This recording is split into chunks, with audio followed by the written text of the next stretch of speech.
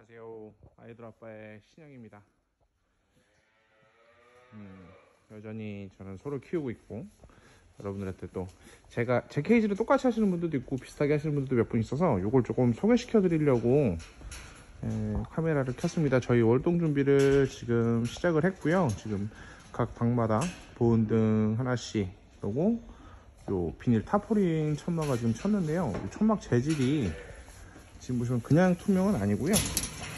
보시면은 안에 이렇게 나이론이라고 해야 되나 이런 실이 다 들어가 있어요. 그래서 추워도 깨지지 않는 이제 재질입니다. 그래서 이거를 지금 전부 설치가 됐고요. 지금 아직 옷은 입히지 않은 상태입니다. 제가 반대쪽 공사를 하다 보니까 좀 소를 좀 잘 못 받았어요. 그래가지고 어, 이제부터 들어오는 소들은 아마 이제 옷을 입혀서 진행을 하게 될 것 같습니다. 지금 근데 이 상태로도 어제 저희 지역에서 영하 12도까지 지금 떨어졌었는데 어, 바닥도 상태가 뭐 나쁘지 않고요. 애들 먹는 거나 아니면 뭐 이게 이렇게 좁은 공간을 케이지에 키우다 보면 가스가 차는데 뭐 그런 거나 그런 거는 거의 없는 것 같아요. 없진 않고 거의 없는 것 같습니다. 요게 지금 제가 쓴 지가 한 1, 2주 정도 된 것 같은데요.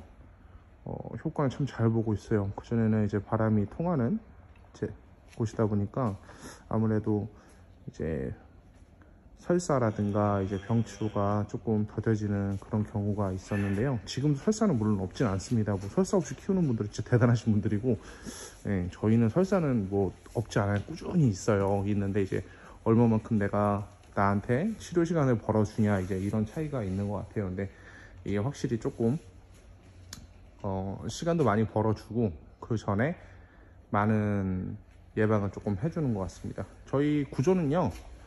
이렇게 돼 있어요. 저희가 1m 50, 한 칸이 1m 50에 1m 50에 1m 50입니다. 150에 150에 150인데, 그래서 이거 한 칸이 이제 그렇고요. 요두 칸이 한 세트입니다.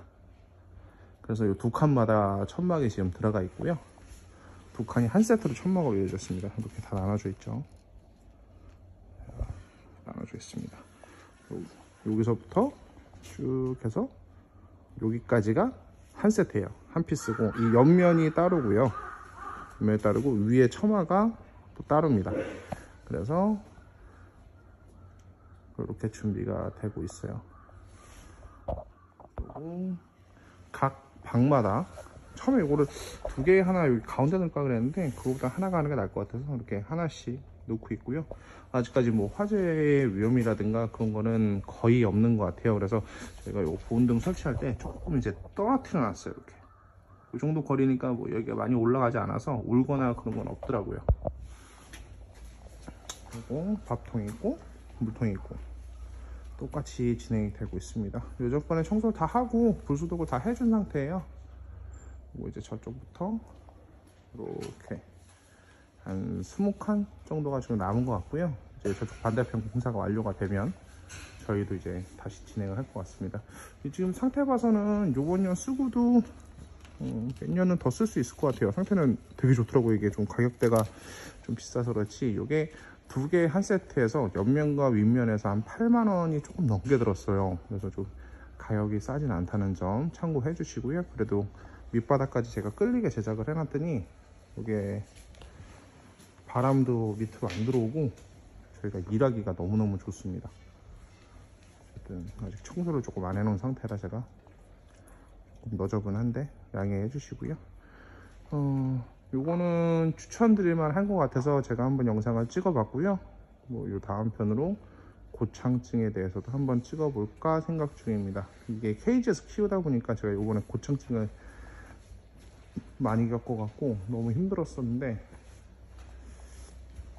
음, 그것도 한번 이제 다뤄볼까 생각하고 있습니다. 어디까지나 이게 제 사견이지 전문적인 견해는 아니기 때문에 늘 참고만 하시라고 말씀을 드리고요. 이렇게 작업이 되어 있고요. 그냥 참고만 하셔서 하셨으면 좋겠습니다.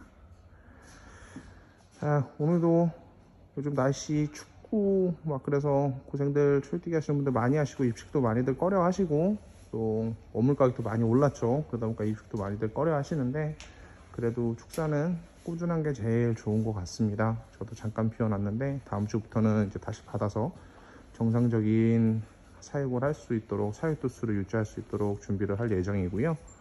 어, 다들 나름의 생각을 가지고 입식을 조금 꺼리시는 분들은 조금 쉬었다 하셔도 될 것 같고 입식을 그냥 꾸준히 하실 분들은 꾸준히 하셔도 좋을 것 같아요. 뭐 앞으로의 전망은 아무도 알 수 없죠.